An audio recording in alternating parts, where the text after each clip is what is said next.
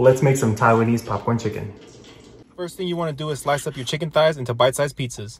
And then you're going to go ahead and marinate it with all the ingredients you see on the screen, which includes ginger, garlic, soy sauce, mirin, white pepper, and five spice.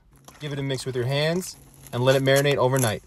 For your spice mixture, you're going to use white pepper, salt, five spice, garlic powder, and paprika and give it a mix. When you're ready to cook, add an egg white to your chicken and give that a mix. You're going to be using tapioca flour because it makes it super crispy. Cover your chicken in it and give it a fry bath at 350 until golden crispy. Hit it with your seasoning and admire that beautiful chicken. Buen provecho. Unbelievable.